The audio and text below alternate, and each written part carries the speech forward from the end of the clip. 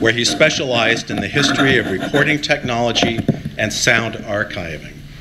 During that time, he was fortunate to be mentored by engineers who had worked in the earliest decades of optical sound, disc, and magnetic technologies. In 2000, Nick began his career in sound restoration, doing the remastering and digital restoration of numerous feature films for DVD distribution. He was confronted with the limitations of the analog work being done for even high budget projects. In 2003, he started Endpoint Audio Labs in order to focus on improving the quality of film sound transfers before restoration. Endpoint has become known for both unique transfer technologies as well as using historical research to inform transfer decisions. Nicholas is a member of the AMPAS SciTech Council Historical Subcommittee and is active in conserving motion picture sound artifacts. Please welcome Nicholas Bergh. Hi. Hi. Um, uh, thanks so much for having me. I do, I do stutter a little bit, so uh, if, I, if I jumble something up, thanks for being patient. Um, today I'd like to talk about the, uh, the new cylinder machine I've been working on. Um, in the start, I'd like to go back to the, uh, the 2015 machine, which some of you saw. I, I did a uh, ARS presentation then. Uh, and it was my attempt at kind of an extreme cylinder machine that could rival the, uh, the technology of uh, an archival disk machine. So similar wow and flutter specs, uh, rumble specs and things to what we expect today for, for like, like a Technics machine. Um, so it has a, a, DC, excuse me, a brushless uh, a DC servo motor drive, a SME tone arm, uh, Shure Shure, Shure cartridge, and all the modern things that you expect. And, and then along with the, these typical uh, turntable features, uh, it also had some, some enhanced features to deal with the, the wow problems in cylinders. So, so just a quick review. Uh, one of the biggest issues with the uh, with cylinder format is the, uh, the wobble, uh, since it's such a small diameter. So even with the disc that we heard earlier, at a 5-inch diameter, a 7-inch diameter, it's an issue. But as soon as you get down to 2-inch, it, it, becomes an even bigger issue. so uh, you get uh, a noise modulation as well as uh, uh, the wow from the, the changing linear speed. So in the 2015 machine, I demonstrated how to use the laser uh, to uh, track the radius information and to use that to um, uh, to uh, do the real-time adjustment of the machine. So here's the, the, video I played at the time of the, the D-wobble, so you can see the, the, wobbling of the cylinder, and then it'll switch to using the, the laser information to track the wobble, and then to modulate the machine instead. Thank you. so, uh, I'm sure, I'm sure the people that were there, sorry? Uh, uh uh, realized the, the biggest issue of that machine, which was the phone call, uh, can you fly over and demonstrate it? Which, uh, you know, coming in at, I don't know, 270 pounds or so, it, was, it was a bit of a chore.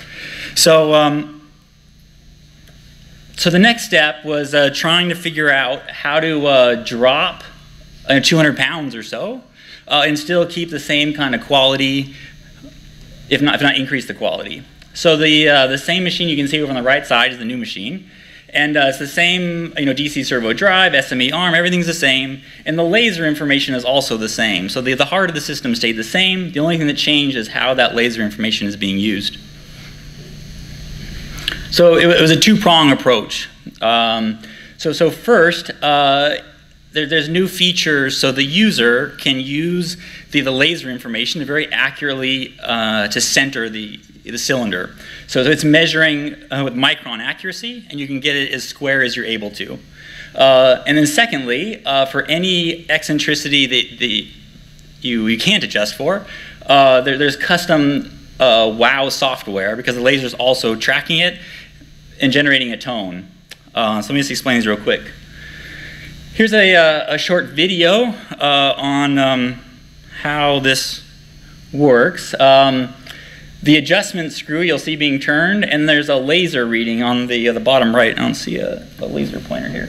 Um, let me just play this real quick and see if you can see what's going on. I'll try to narrate it. So you go to a spot on the cylinder. There, there's a set point that tells it you're on the set point, and then you um, it'll do the the calculation in the little you know processor and tell you how much to adjust the the cylinder. So you have the option on the high res or low res option of the display. You can either see, see micron accuracy or, or 10 micron accuracy. And so even though you know 10 micron accuracy is really all, all that's warranted, um, it's helpful for the, the full micron accuracy sometimes to uh, uh, speed up the adjustment to know exactly where you are. Uh, so typically one will adjust the right and then the left and then just uh, the right side again. And then here's an example of the, the basic uh, screen of the, the DWOW software. Uh, it's, it's a batch, excuse me, it was a batch processing. Um, with, with, the original system, I was using uh, the Capstan off-the-shelf software, uh, but it was made for, for musical analysis, and using the, the tone was always a little difficult. Um, it's, it's just slow, essentially.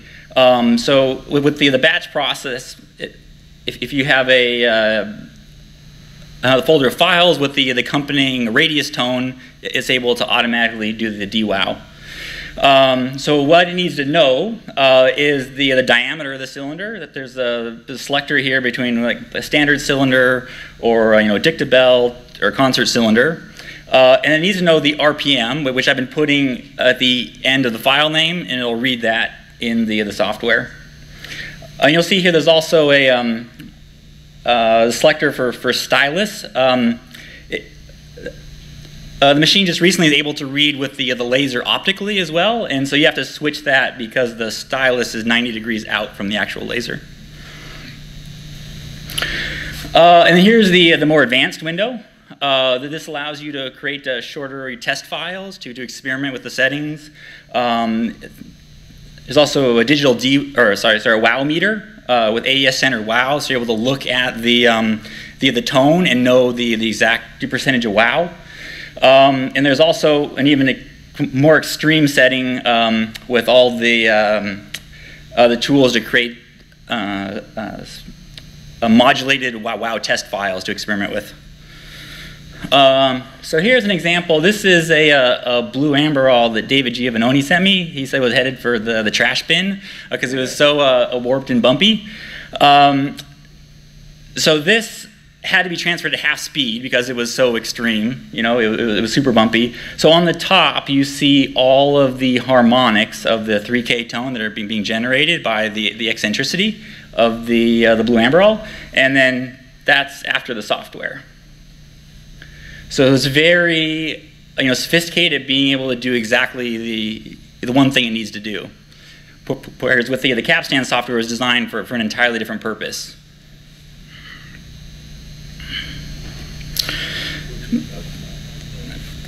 So I also mentioned the, the prototype machine. Um, this, this was an important way to uh, test out the, the machine so people could handle it, give me some, uh, some, some feedback on it. So I'd like to thank everyone who uh, gave me some, uh, some, great ideas, helping with, with the ergonomics and the design of the machine. Um, it was great to see all the, the cylinders at IU and all their help to kind of see what, what, what they were dealing with. Uh, and I'd like to uh, single out a couple you know, specific improvements. Um, the, uh, the mandrel design uh, was, was worked on by, by David uh, he went through all of his, you know, his own collection with doing some measuring and such. And we worked out a taper that works really well so that there's no you know slop and shimming required and such.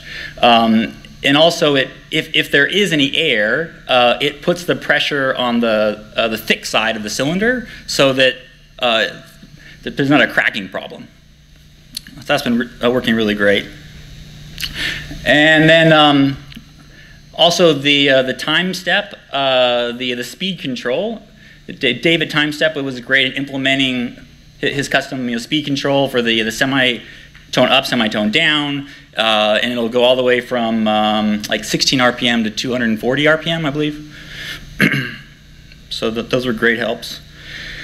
Uh, and, and, then just recently, uh, uh I've been able to get um, real-time, non-contact optical playback through the laser output directly.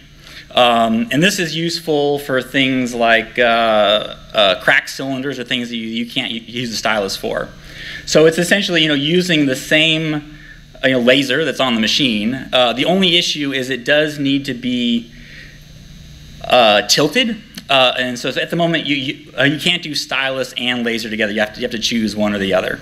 Um, so the frequency response is excellent. The, uh, the bit depth, you know, the, the laser itself is good, but the, um, uh, the modulation is so small in the cylinders that it's really only like 8-bit actual, you know, bit depth. So, um, so the stylus is still uh, still higher, you know, quality with with, with, this, with the system, but um, it, it it's uh, helpful for instances where you can't use a stylus.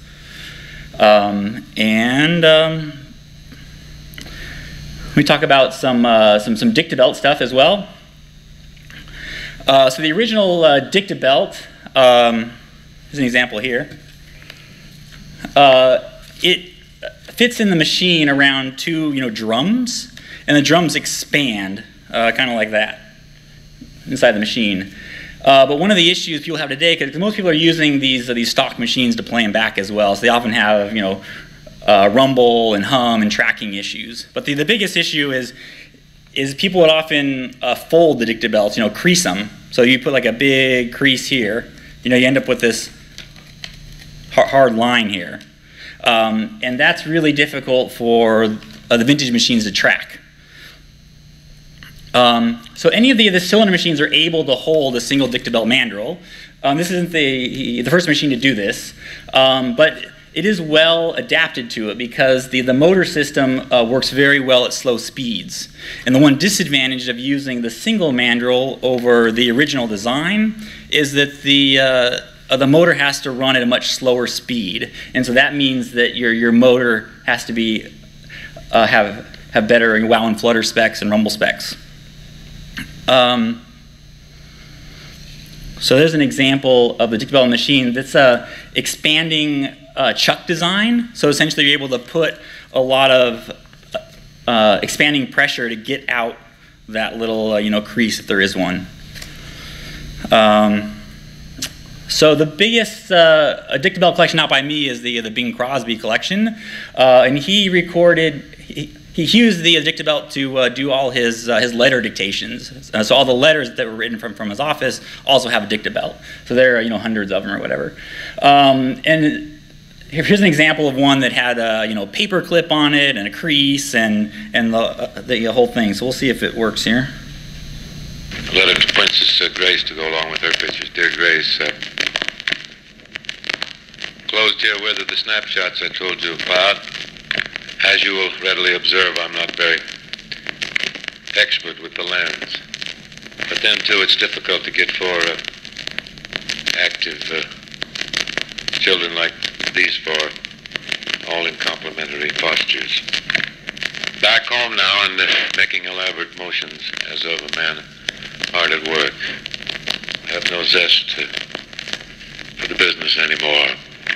An amusing thing, I arrived home after 12 hours in the air to find uh, Kathryn in the midst of a cocktail party for 350 people. So you get the idea. And, and the biggest issue with the Dictabelt is they run long, and so they are uh, slow to transfer. Uh, so the other advantage, because it uh, tracks really well, it's possible to do double speed if, if, if you need to, um, because it's tracking really well. Uh, and then Dictabelt is one of the formats that suffers from no test recordings, uh, and so it's hard to work on a machine with no, no test recordings at all. Um, so I've been uh, slowly working on do, doing Dictabelt test recordings. Uh, so here's the, uh, the Dictabelt with the, the Scully lathe. Um, I started off using the actual head from the Dictabelt machine, uh, as you can see there in the picture. Um, but it was really only designed for speech, and so the distortion is very high and the fidelity is not great. Uh, so then I switched to uh, using a Dictabelt recording stylus in a Westrex stereo head, and that'll give you uh, some excellent results, but it's still uh, you're still embossing the groove, so you won't get, get extremely high frequency response. Exactly. yeah. Uh, and then just a quick update with the the cylinder uh, uh, uh wax test recordings. Um, I was originally using uh, home stylus on the the Westrex head. I think I showed, showed that last time in 2015. Um, but you know, the, the jewel is very small in the, the home recording stylus, uh, and, and so, so, it was important. I was lucky to get a couple of the original, you know, studio styli, and the, the jewel goes all the way back through the, the metal section, so the sapphire is a good uh, inch or so long, uh, and it allows a longer section of the sapphire to be exposed. Um, and the quality of the jewel seems, seems to be a little bit better as well. Um, uh, so unfortunately, th this is, um, uh, the jewel is a little bit obscured by, by the advance ball is the, the first jewel you see, and then the, uh, the stylus is after that. Um, the, the angle of the cutting stylus is really important, and it's hard to see on a Scully lathe because there's a lot going on. Uh, so I had to install a GoPro, uh, kind of a hacked GoPro, under the, uh, the carriage of the Scully. And so this, this is the video of the, the GoPro with, with little macro lens I put on there. So you can just see it uh, real quick. What's, let's see if we can, whoops, here we go.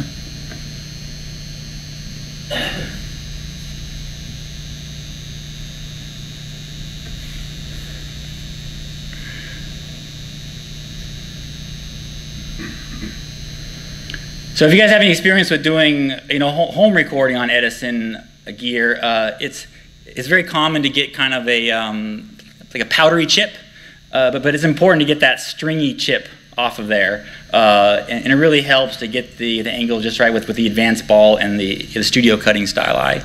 Um, it, it's hard with, without the advance ball to, uh, to get, get that kind of a chip out of it. And uh, that's that.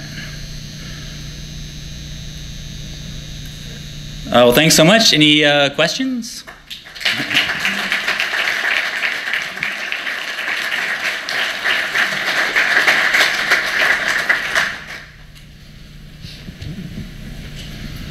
Fascinating as usual. Well, thank you. In the work that you're doing, how much do you find that, especially given your, your, your background and knowledge and study in, in the historical processes, that what you're doing is advancing the art that they, the next step that they would have taken if the technology had been available, and how much is, you know, leaping se several decades ahead, thinking about a, problem in an entirely new way? Yeah, I would say it's uh, mostly the former. So I'm mostly, uh, you know, I spend a lot of time uh, relearning stuff that people have forgotten. I think, especially on the film side, uh, with optical sound and such, because um, you know, as as you guys know, you know, sound started out uh, electrical sound at least with, with Bell Labs. And uh, you know, between 22 and like 42 or so, I mean, they kind of wrote the book on it. And uh, so I'm always kind of kind of re- relearning what, what they had already figured out. Um, and on the acoustic side, with, with the Edison stuff, uh, unfortunately, there's a lot less documentation, and so it, then, then it's just kind of you know stumbling on the right answer. Unfortunately, you know, is the difficult part. But but I'm sure they had it all figured out. I'm sure I'm sure I'm, I'm just re- redoing what, what they already knew. So. Other questions? Nick, you finished really early. Okay, I probably sped through it. Yeah. Okay, Steve. Uh, are there applications for what you're showing here for improving the mechanical playback back of flat disks? I, I, saw a couple of things go with the wow and flutter issue. Oh, right, uh huh. Yeah, I mean, on the, the flat disk side, uh, it's luckily a little easier. I'm a big fan. I mean, I, I do very slow, you know, disk. I'm not, I'm not really, you know, so I do everything, you know, sometimes it can take me half an hour to do a disk or something inside of a disk. Uh, but uh, uh, these days I do everything uh, with, with a microscope. So if you, if you center the, the runout groove, at that point you can get it, you know, exactly on on a disk. Um, it's a little rough on the eyes with, with, with the monoscope, but if you have uh, the, the two eyes on the scope, it's, it, it, it's not so bad. What's next? What's next? Uh, I don't know. Well, I mean, uh, so the, the optical playback that I showed is, is just only like a, a month or six weeks old, you know, so um, I still have some, some work to do with, with the laser company to help, help improve because it, uh, it has to be hacked a little bit, the laser, to do that. Uh, and so they're a large you know company. They don't really like like doing things like that, but I've been uh, slowly working on them to help out with that. So, uh huh. Nick, I'm going to get back to the flat disk issue. Uh-huh. Did you work on the reproduction system that reverse engineered a cutter head to play back the discs? Oh, for, for the uh, the American Epic stuff you're referring to? Yeah. Uh huh. Yeah. Could you give us just a little smidgen about what that was all about? okay. Uh, um, yeah, so in the, the American Epic project, uh, you know, we, we featured the, the original Western Electric system that I, that I restored. Uh, and it was really helpful on the playback side to know exactly what the curve was and exactly what the electronics were doing um, to help inform what, what was going on on with, with the play side. Um, so, I mean, you know, generally, I mean, I mean just, I don't know how far a deep. Oh, okay, okay, okay. Yeah. So I mean, I mean, generally, um, you know, if you look at settings, you know, like like how to set your, your reproducer of the time for, or your phono EQ. I, I mean, most of that stuff is not really done from from the technology. It's mostly done done, done by ear, I guess. You know, and. Um, uh, so, for example, on uh, the early electric stuff, they'll often tell you to have like a roll off of some kind or whatever, right? Uh, but there is really no roll off in the West Electric system. I mean, there is, yeah, that, there is no uh, emphasis. Yeah, yeah. Um, so the only thing uh, that's there is the, the microphone. Um, and so, so you really don't want to be having any de-emphasis in play. Uh, and you want to do, uh, you know, carefully doing that uh, so after the fact, essentially, so, so you can get the, the curve exactly right. So instead of doing like, like a broad, yeah, roll off, then just like that. Yes. Nick, could I just elaborate on what, on what you just said about the cutter and emphasis and all of that? A magnetic cutter head is a velocity sensitive device. The constant displacement portions of the curve are put in by an equalization network in the signal path before the signal gets to the magnetic cutter. So the emphasis isn't part of the cutter head itself, which, which you basically implied, but I just wanted to Yeah, clarify yeah. that.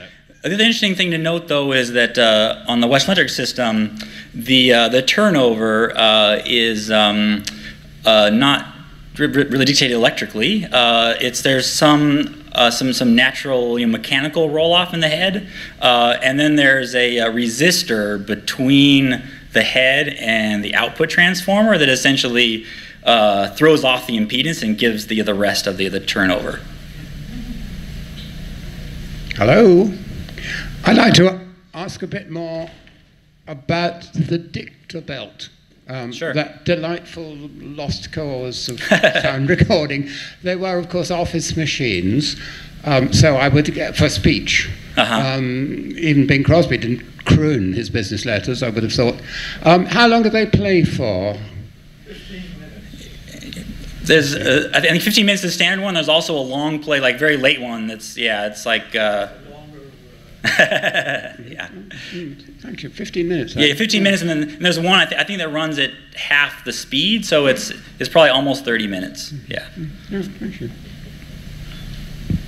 Anyone else?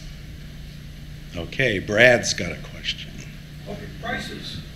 yeah, actually, this is a shameless plug. Um, Nick, as he mentioned, is involved with the American Epic series. Uh, the next steps of the American Epic series are going to be discussed tomorrow morning at 10:30 because Alan McGourty is on a panel. Uh, if you can all make it, um, you can learn a little bit about what are the next steps for Nick's world of American Epic and Allison and Bernard's world, especially. Hope you can come. Okay, thanks.